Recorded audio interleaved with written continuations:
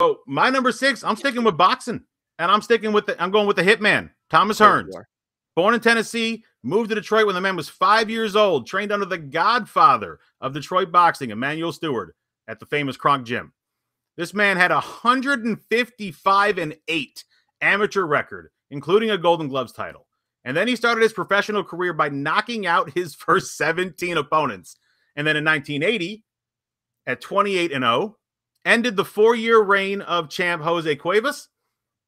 And then, if you know, you know, legendary fights with Roberto Duran, Marvin Hagler, Sugar Ray Leonard, only adding to the Hitman's legacy a 61 and 5 pro record, 48 wins by knockout, six world titles in five weight classes, fighter of the year in 1980 and 1984. And not only that, he's a fixture in Detroit, currently lives in Southfield. Sure.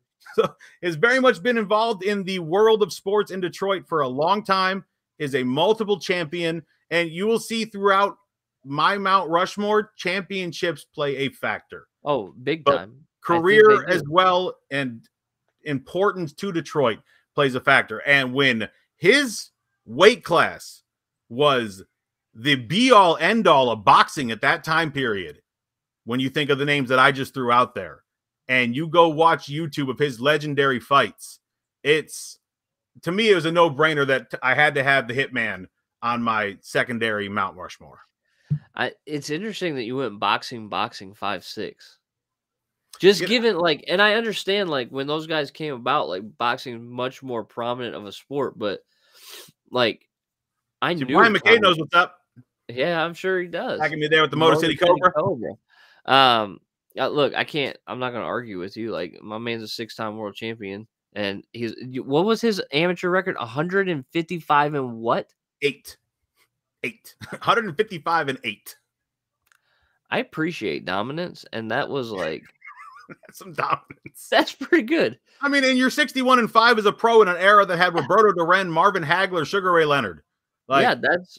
I mean, I would definitely all say, them cats. Like, I'd say that's pretty good. Yeah. I like. I would say that's pretty good. Now, unfortunately, like you said, boxing has fallen off.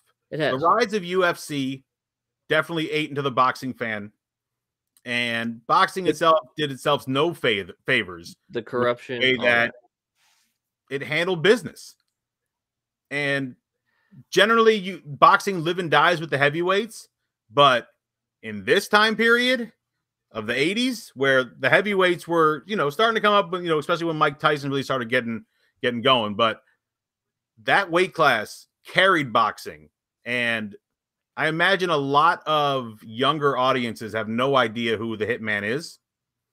And you're right. Feel sad about that because they will thoroughly enjoy watching this man fight because this so man could I, hit and hit I do want to reach out to stand there.